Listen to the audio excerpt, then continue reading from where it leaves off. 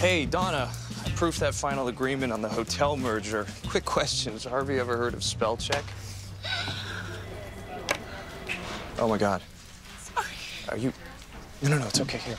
No, no, no, no, you don't have to cry. Yeah, it's okay. Shh, shh, shh. It's okay. It's okay. He says things sometimes, and they and they cut to the bone.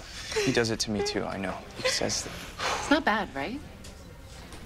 I can also do the Demi Moore single tear, left eye or right eye, if that's better for the character. Okay, I'm scared. What's going on?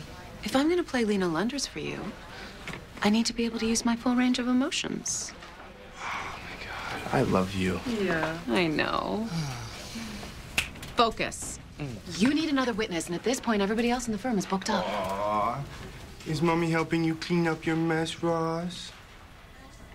Am I mommy in this scenario?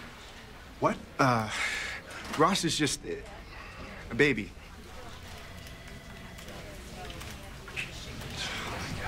I cannot believe I'm gonna lose to that tool. Okay, come on. No pity parties. Go to an outside source for the other witness.